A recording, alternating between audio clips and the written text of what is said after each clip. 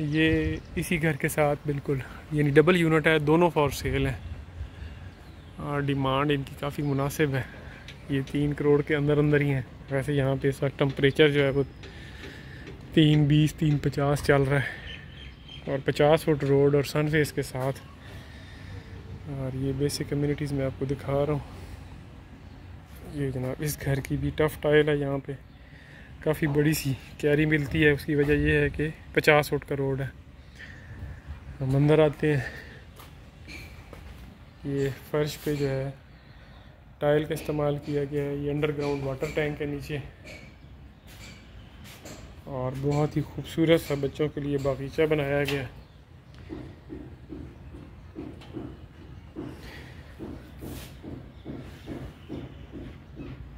बहुत ही प्यारा लग रहा है।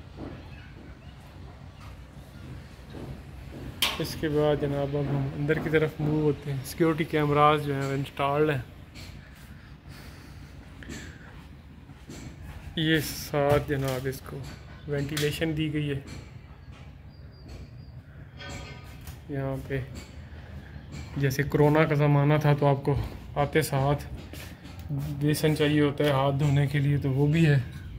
ये ऊपर ओपन टू स्काई ये यहाँ पे वॉशरूम दिया गया। है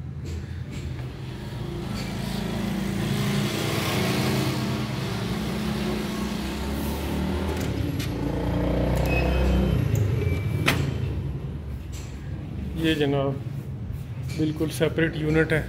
यानी कि ये जो दरवाज़ा है, ये ऊपर जाने के लिए फ़र्स्ट फ्लोर सेपरेट हो जाएगा और ये जो फ्लोर है, ये ग्राउंड फ्लोर की मेन एंट्रेंस है।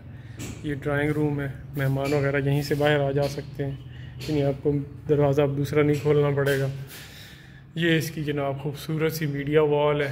खूबसूरत वाल पेपर है। बहुत बड़ा सा शेंडिलर फानूस वगैरह और ऊपर सीलिंग में भी वुड वर्क का इस्तेमाल किया गया है।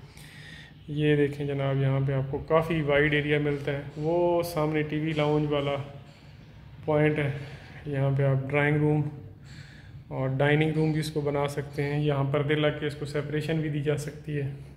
लकड़ी के पर्दे भी आजकल बड़े अच्छे अवेलेबल हैं।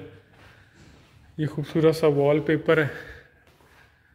और यहाँ पे जो ओपन किचन का इस्तेमाल किया गया है, जो कि ज़्यादा प्यारा लग रहा है।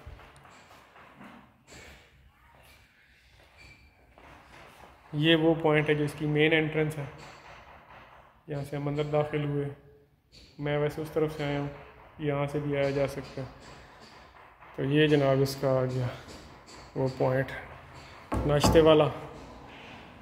और ये जनाब अंदर से इसको जो कुछ काम है आपके सामने। है यहाँ पे भी वही खड़ा स्टैंड इस्तेमाल किया गया है। इसमें ऑटोमेटिक लाइट लगी हुई है बर्तनों का।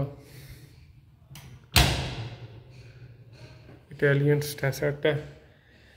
खूबसूरत सा जनाब चूल्हा है। वही हाइड्रोलिक वाले बटन। वो कैबिनेट्स हैं और ये किचन हुड और ये जनाब आ गया आपका बर्तन धोने का पॉइंट ये सामने जो है, यहाँ से भी बाहर नज़र आ रहा है। ये ओपन टू स्काई की तरफ़ भी जा रहा है। रास्ता और यहाँ से किचन को वेंटिलेशन भी मिल रही है। किचन में अगर आप खड़े होंगे तो आपको कुछ यूँ नज़ारा मिलेगा। ये किचन वो सामने टीवी रूम वो ड्राइंग रूम और किचन के पास ही जो बेडरूम है उसको मैं आपको दिखाता हूँ। सॉलिड वुडन डोर है। और मीडिया वॉल है। ये छत पे खूबसूरत सा काम किया गया है जी सीलिंग का। कपड़ों की अलमारी।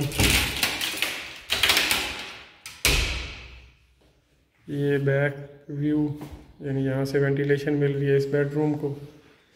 ये आ गया आपका वॉशरूम वॉशरूम में टाइल का कम्बिनेशन चेक करें। खूबसूरत सी वैनिटी है। ये सामने खूबसूरत सा मैं हूँ। और ये जनाब, यहाँ पे इंडियन सीट लगाई गई है।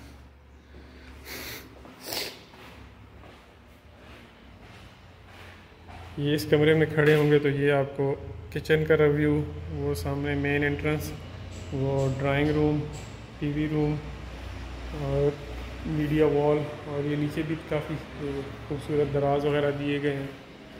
और ये देखें जी वुडवर्क का इस्तेमाल किया गया खूबसूरती देने के लिए। यहाँ से मैं इसके सेकंड बेडरूम में दाखिल हो रहा हूँ। ये इसका मीडिया वॉल। और ये काफ़ी बड़ी स्पेस है। ये सामने जनाब इसका आ गया। कपड़ों की अलमारी।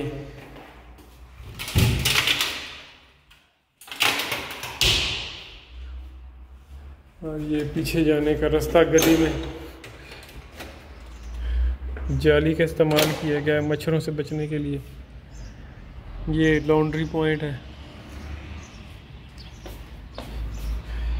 पिछली गली की नस्बत ये काफ़ी हाइट पे है। यहाँ पे जो भी घर बनेगा, तकरीबन वो दो फुट डीप होगा। तो ये भी एक एज है कि ये काफ़ी हाइटेड प्लॉट है।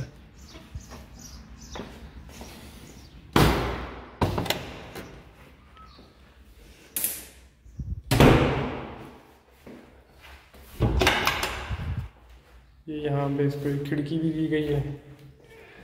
ये इस वाले बेडरूम का वॉशरूम है। बहुत ही प्यारी सी वैनिटी है।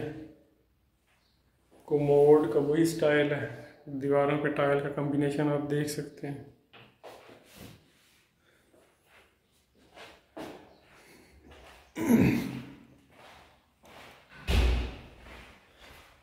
इस बेडरूम से जब हम बाहर निकलेंगे तो ये हमारे सामने इसका drawing room TV room kitchen और ये सेकंड बेडरूम अब मैं आहिस्ता आहिस्ता ऊपर की तरफ़ मूव करता हूँ।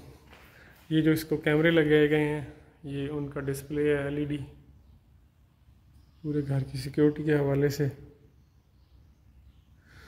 और यहाँ से अब हम ऊपर की तरफ़ मूव होते हैं।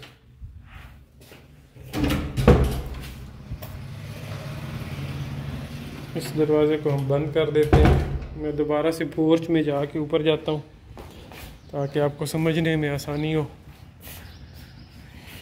ये नीचे वाला ड्राइंग रूम नीचे वाली मेन एंट्रेंस और ये ऊपर के लिए मेन एंट्रेंस के साथ ओपन टू स्काई है। बिल्कुल डबल यूनिट है, बहुत प्यारा बना हुआ। अभी हम ऊपर जा रहे हैं।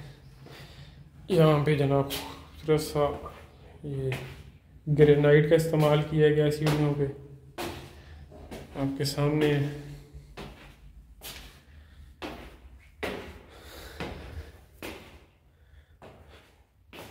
इसकी मैं लाइट्स वगैरह ऑन करता हूँ। ये जनाब, सीढ़ियों वाले पॉइंट पे मैं खड़ा हूँ तो सामने आपके ड्राइंग रूम या इसको बेडरूम भी कह सकते हैं। ये चाइल्ड रूम जो कि पोर्च के ऊपर है, ये टीवी रूम है। तो एक साइड से शुरू करते हैं। ये किड्स रूम बेडरूम बन सकता है। ये इसकी खूबसूरत सी वैनिटी है। ये टाइल कम्बिनेशन आप देख सकते हैं। काफ़ी बड़ा वाशरूम है। और ये जनाब, शाम की चाय का पॉइंट खूबसूरत सा टेरेस दिया गया है।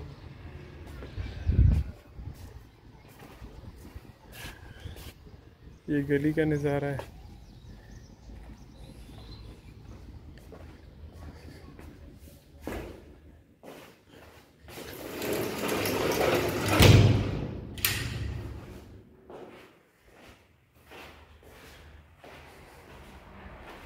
ये मैं बच्चों के रूम से बाहर आया हूँ और ये सामने आपका ड्राइंग रूम है, ऊपर वाले फ्लोर का।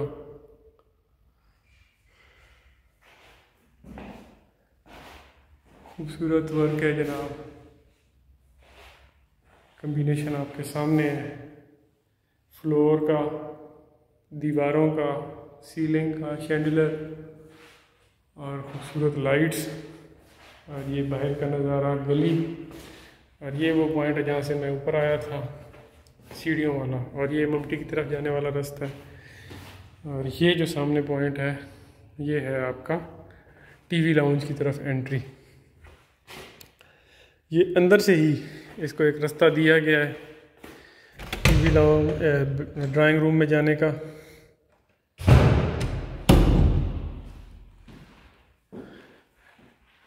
और यहाँ पे बहुत ही खूबसूरत फानूस का इस्तेमाल है। बहुत ही प्यारी सीलिंग है। ये यहाँ पे टीवी आपकी एलईडी आएगी।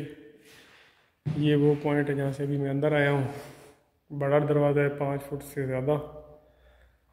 और ये पॉइंट जो है आपका किचन है। बहुत ही खूबसूरत ओपन किचन है। इसको ये वाला भी फ़ैन दिया गया है छत से वेंटिलेशन करने के लिए। फर्दर ये है कि नेचुरल लाइट और वेंटिलेशन के पॉइंट्स भी हैं।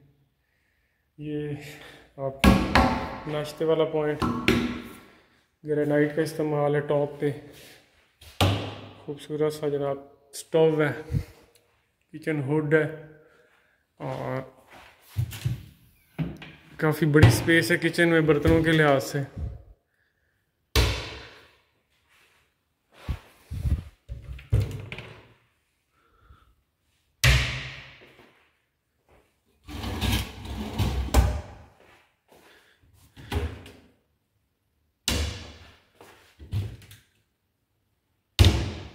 इसमें भी नीचे बर्तनों की स्पेस है। इसको थोड़ा बहुत मूव भी किया जा सकता है। इस सामने वाले पॉइंट को एज ए टेबल नाश्ते में जब सुबह जल्दी होती है तो बड़ी आसानी से आप इसको मैनेज कर सकते हैं। यहाँ पे भी टाइल का वर्क काफ़ी ऊपर तक किया गया है। मैं यहाँ पे खड़े हो के आपको दोबारा से एक व्यू दे रहा हूँ। ये सामने टीवी रूम पूरा। काफ़ी वाइड है। और ये वो पॉइंट जहाँ से मैं एंटर हुआ था। टीवी लाउंज का मैं आपको पॉइंट एक दफ़ा दिखा दूँ। यहाँ पे भी अच्छे दराज दिए गए हैं। थोड़ा बहुत सामान रखने के लिए। ये व्यू आपको मिल रहा है। ये ड्राइंग रूम की तरफ़ जाने वाला रास्ता है। ये वो मेन एंट्रेंस वो ऊपर पम्पटी की तरफ़ जाने वाला रास्ता भी सामने है। किचन और ये दोनों बेडरूम बैक साइड में अब हम बेडरूम्स का देखते हैं।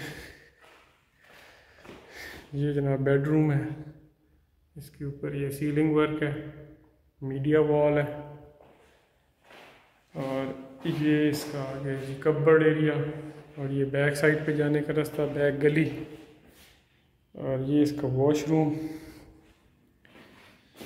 खूबसूरत सी वैनिटी यहाँ पे टाइल का जो कम्बिनेशन है कोमोड है यहाँ पे।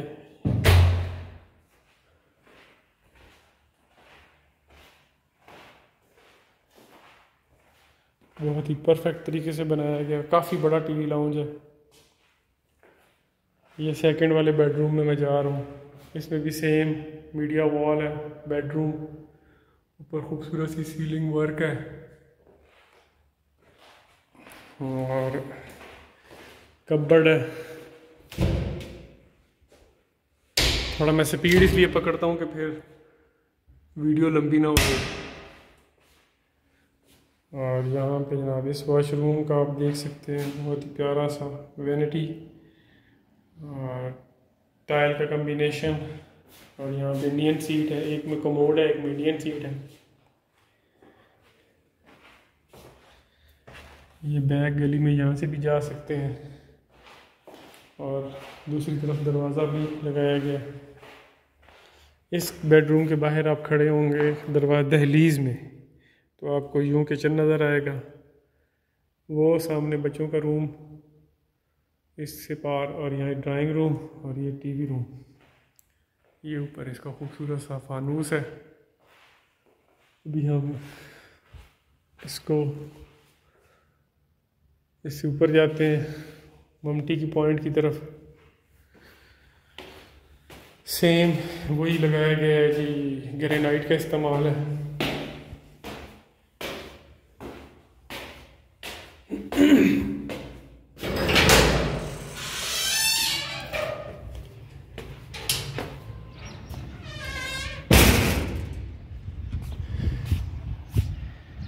ये इसका छत है। सामने से मैं आपको पहले नज़ारा करा दूँ। ये पचास फुट का रोड है, इसके एंड पे सुपरनोवा स्कूल है। और वो पॉइंट जो आपको लाइटें नज़र आ रही हैं, ये क्रिकेट ग्राउंड की हैं डे एंड नाइट मैचेस होते हैं यहाँ पे।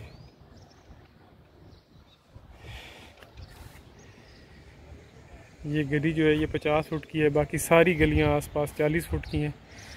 जिस गली में ये खुल रही है, इस एंड पे, ये गली जो है, ये साठ फुट की है। और ये सोलह नंबर गली और इसके आगे जो है डबल रोड है 120 फुट का, जो सी ब्लॉक और श्रीनगर हाईवे को टच हो रहा है।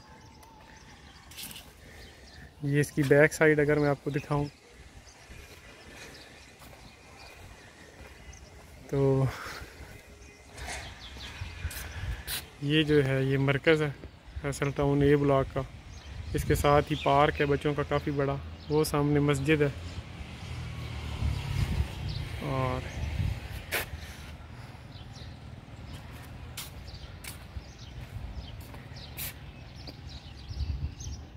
ये इसका पानी का टैंक है, ये ऊपर सर्वेंट रूम है, और ये जनाब इसका वॉशरूम है। ये आपको सब कुछ हम कंप्लीट करवा के देंगे। ये जनाब सर्वेंट रूम है ऊपर। काफ़ी बड़ा स्पेस मिलती है आपको वॉक करने के लिए भी।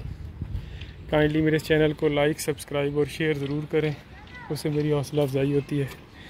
थैंक यू और इस घर का एक प्लस पॉइंट ये है कि यहाँ पे चूँकि पचास फुट का रोड है तो बाहर का जो गार्डन एरिया है, ये भी आपको ज़्यादा मिलता है।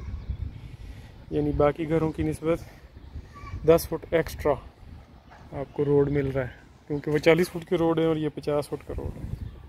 थैंक यू जजाकल्ला अलैक्म.